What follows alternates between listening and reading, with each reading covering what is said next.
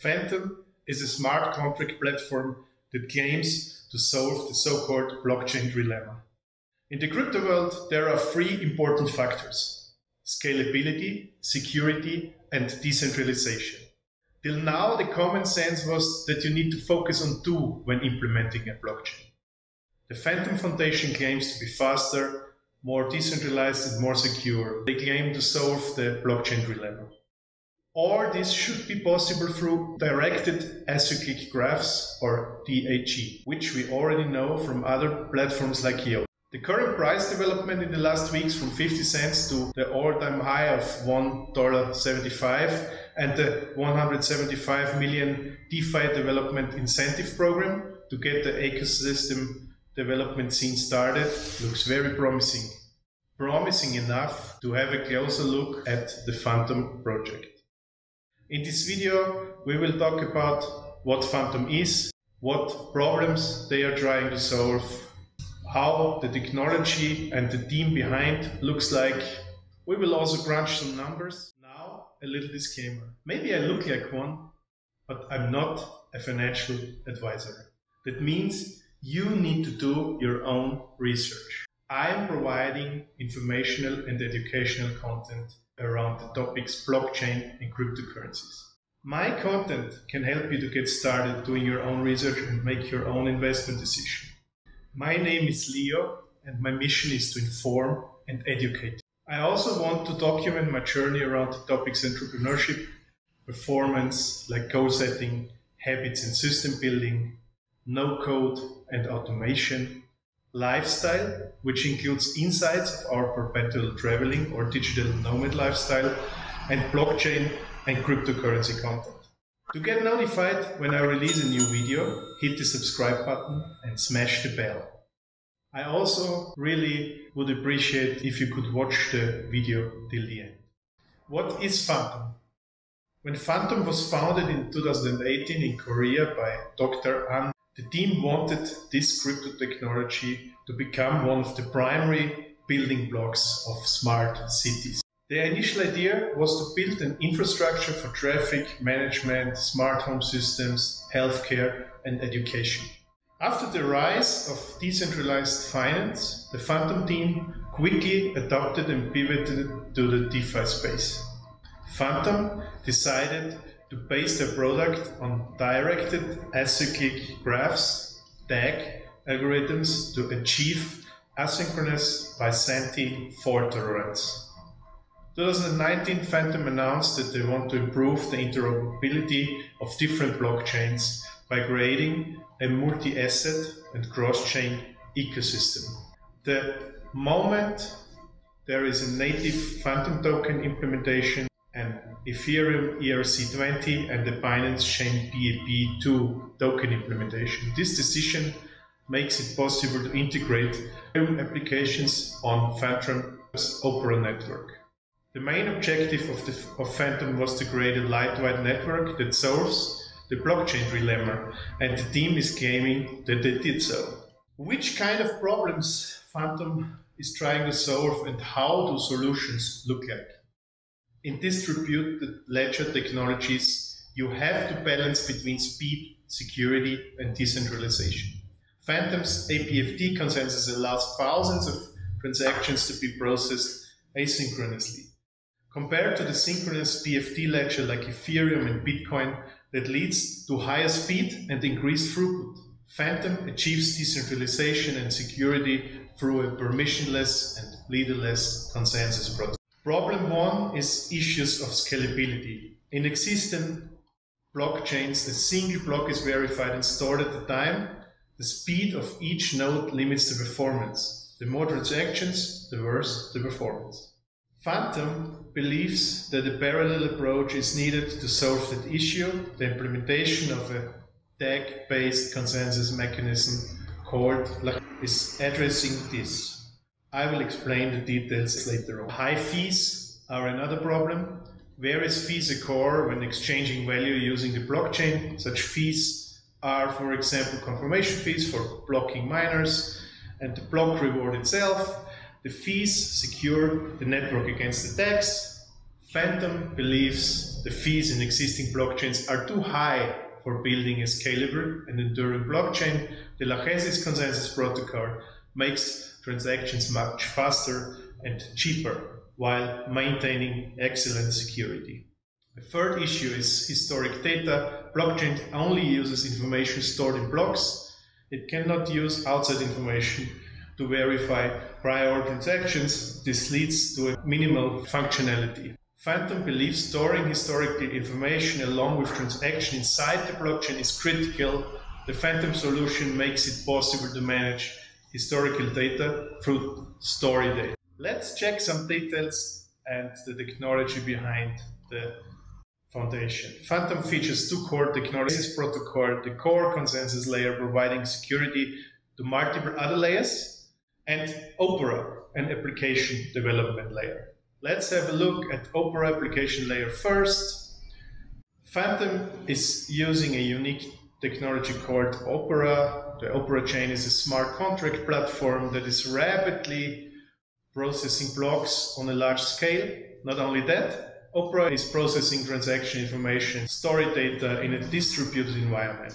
In that way, the chain can store detailed historical information. The Opera chain is an EVM compatible application development layer. It supports smart contract development in Solidity and Vyper. All contracts written in those languages are fully compatible with the Opera network, and Fantom is currently working on their virtual machine, Fantom virtual machine, an interpreter and a database to achieve better performance and security results than even the Ethereum virtual machine. Opera features a proof of stake system that is leaderless. The Fantom validators don't determine which blocks are valid, which should increase the network security as well. Fantom Opera consists of three layers. Opera core layer, which is processing transactions on scale. In this layer, theoretically 300,000 transactions per second are processed. At the moment, we are at 4,500 in the mainnet and around 10,000 in the testnet. The Opera layer supports smart contracts and other functionality, and the Opera application layer, third party applications in uh, different industry verticals. That's enough on Opera for the moment. Let's talk about Lachesis asynchronous Byzantine fault tolerance consensus algorithms. The consensus mechanism is the core of the distributed technology. In a system where no central entity validates transactions, the consensus protocol ensures an agreement in the distributed network with all participants. Transactions are validated in a fully trustless way. Lachesis is faster, more secure, and more scalable. If you compare to the classical Nakamoto and classical consensus qualities, asynchronous participations have the freedom to process comments at different times. It's leaderless. None of the participants plays a specific role in block production. It's Byzantine fault tolerant, supports one third of 40 nodes and still works and it's near instant finality, which means uh, transactions are confirmed in one to two seconds. Finality means that the transactions cannot be changed or reversed by anybody. If you compare that to Bitcoin, which has a finality of 30 to 60 minutes, or, or Ethereum with a few minutes, this can be really a game changer. Let's have a look at the Fantom FTM token. The category is clear. It's a smart contract platform token. It has implementations on the Binance chain, Ethereum chain, and the native token implementation. Genesis block date was 26th of December 2019. Let's have a look what you can the token used for. You can use it for on-chain governments. The on-chain governments mechanism is meant to support multiple proposals by any arbitrary number of members. You can delegate your votes to another user. Fantom uses a proposal template for all users to fill out and proposals can create it at any time. You can also run a validator node, which uh, means that you need around 3.1 million FTM tokens to be able to run a validator node and then you can earn transaction fees and also epoch rewards And yeah, at the moment the API is around 11%. You can also delegate your Fantom token and do staking. Users who don't have the FTM tokens to run their own node can delegate their token to an existing validator and earn the proportional staking transactions and network fees. The reward goes from 4 to 13% depending on the locking period of your choice. The minimum locking period is two weeks at the moment. You can also use your FTM token as a collateral on the Fantom DeFi network. How do the tokenomics look? Let's crunch some numbers. Max supply is around 3.175 billion. Circulating supply is 3.5 billion. Daily expected distribution till 2024 is around 700 million. Raised capital 2018 in two rounds was 40 million, 40% allocated in public and private sector bonuses. The FTM has no vesting schedule. 15% of the tokens are for advisors with a three month lock. 10% are allocated to the founding team with an allocation feature of 24 month vesting period with monthly gifts and 3.6 are allocated to strategic reserve. Those FTMs have no uh, vesting schedule, and 31.4 is reserved for staking rewards to be distributed daily until 2024. At the moment, the price is at 1.65 dollars. And the market cap is around 4 billion US dollars. So we still have great potential to go up here. Let's talk roadmap and events.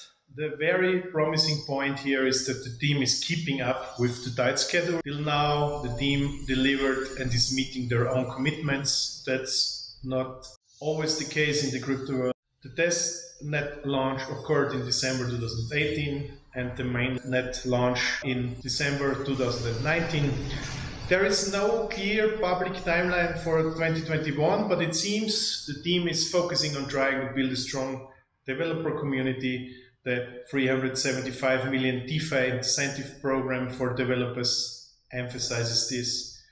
If you're thinking to start developing on the Fantom ecosystem, here are a few facts. The Opera chain is an EVM compatible application development layer. It supports smart contract development in Solidity or Vyper. All contracts written in those languages are fully compatible with Opera. Fantom is currently working with two universities to build a new Fantom virtual machine, interpreter and database to achieve better performance and security than the Ethereum virtual machine. If you are a developer, I think it's worth to have a look into the incentive program. The Fantom Foundation has a fully distributed team and is made up of engineers, scientists, researchers, designers, and entrepreneurs who share the same vision. The whole team, at the moment 44 team members, is distributed over the entire world, with most of them working from Korea, Australia, United States, and South Africa. The initial founder, Byung Ik, is a Korean serial entrepreneur, but doesn't seem to be active in the project at the moment anymore. The team seems to be really great and doing a great job to fulfill their own commitments. Andre Cronje is also supporting the project as an advisor after the Fantom Foundation turned their focus towards DeFi use cases. Andre advised and helped promote Fantom's multi-chain efforts such as launching a Fantom's bridge to Ethereum. Overall, great team and keep up the great work. So what is the conclusion? Is there really a need for another layer one blockchain project? There are many cryptocurrency projects and blockchain solutions out there claiming that they are faster, cheaper, and more secure. The Fantom blockchain, based on DAG technology and Lachesis consensus model, seems to have it all. Fast performance, low network fee, and a very secure model that is fault tolerant, still a 3% malicious nodes. The team is a good mixture of expertise, academic background, and people with entrepreneurial background.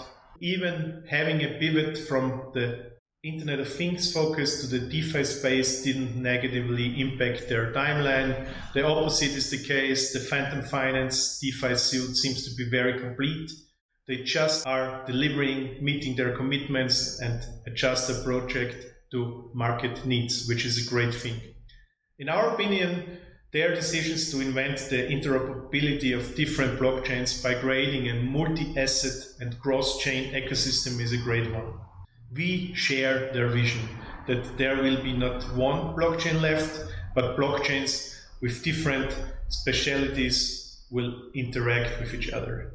They already have an implementation of the BEP2 token and an ERC20 token. The complete compatibility to EVM allows the deployment of favorite Ethereum applications. The early integration of Chainlink and Band protocol was a great decision to benefit from on-chain and off-chain data. Also, the speed and low fees should drive the adoption. The incentive program for developers should bring enough developers to the chain to have more real world products and use cases natively on the Fantom blockchain. Compared to other smart contract block platforms, the market capitalization is at 3.8 billion at the moment, which is really low. Comparable platforms like Ethereum with a market cap of 415 billion, Cardano of 88 billion, Solana 55 billion, and Avalanche's 8 seem to be in reach in the following years, which would bring the FTM token forecast to 15 to 100x or the price to 22 to 150 dollars for one FTM token. What about the risks? The roadmap for 21 is not totally clear, but it's not a huge issue in my opinion. They will just adopt the developers focus on Afghanistan with the use case uh, was a setback for sure after the Taliban took over. Only one third of 40 nodes are allowed in their uh, system. Is this really secure? I think yes. At the moment, it's a bit hard to be a full uh, network validator since there are really high staking requirements. What are the potentials? The potentials are significant adoption through compatibility with EVM, SushiSwap and Curve are already available. The partnership with REN project to build cross-chain bridges between different blockchains is a great thing. There are excellent partnerships like with Travala, a crypto travel platform and other products.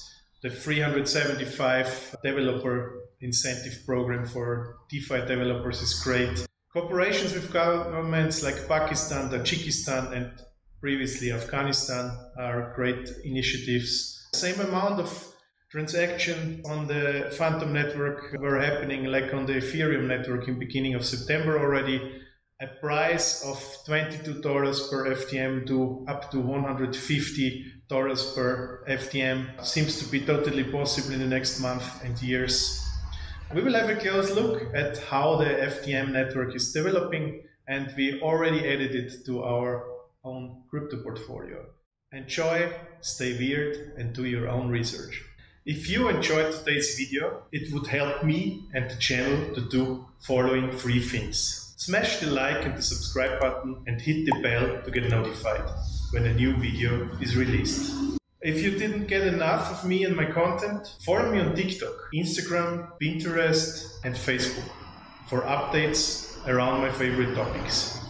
For email updates, visit www.weirdo.rocks and leave your email address. Thanks for watching and see you soon again.